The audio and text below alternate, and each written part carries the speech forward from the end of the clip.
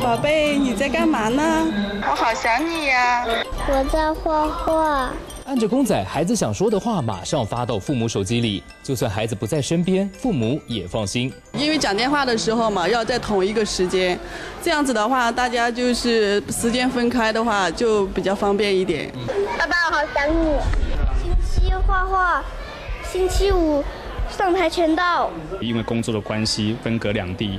那呃，常常我需要跟他们聊天的时候，他们已经呃睡觉了，或在写功课。那有时候他们想跟爸爸讲几句话的时候，我也在忙。这是全球第一只互动公仔，透过跟手机绑定，只要通讯软体发语音讯息，亲情没距离。他收到了一个消息，宝宝，爸爸很想念你，你有没有想念爸爸呢？这是是不是让你兴奋的一刻？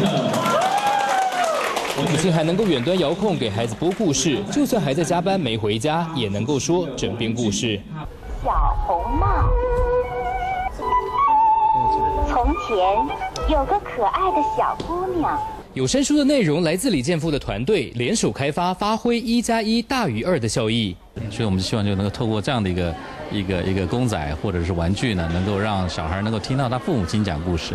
会说话的玩具不稀奇，但是把亲子互动加进来，让科技有了温度。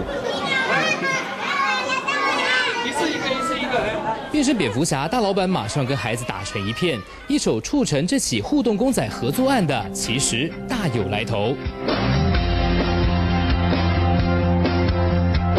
去年异军突起的耳机品牌嘉一联创，今年已经卖了七百多万条。从五百万的小公司，如今估值已经突破一亿美金，把高端耳机平价化，挑战大厂的性价比。当 Apple 去 merge Beats 的时候，我们更肯定我们的方向跟眼光是对的。所以在未来，我们不但要去做好声学，我们还要去做更好的所谓的智能耳机。六十个人的团队不止做耳机，引入联创概念，共同开发，资源共享。小公司引起官方高度重视。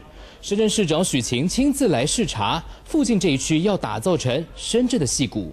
这边是那个南方科技大学，那边是整片都是科科技园区叫资源。谢冠宏曾经是富士康最年轻的总经理，自己创业打拼，发现深圳的创业热情跟机会超乎想象，到处都是一场一场的。投资者、创业者的聚会，投资者、创业者聚会聚会，连在餐厅吃饭，到处都是创业者跟投资者。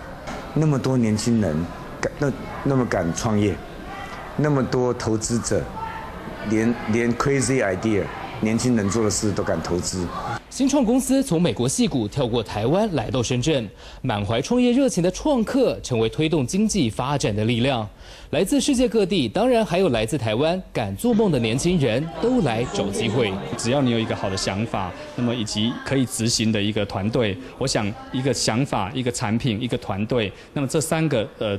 结合之后呢，在资金在大陆这一块，我想目前是不缺的。市场那更不用讲，一人拉一把，互相扶持。创客云集的深圳，不缺机会，就缺没有好创意。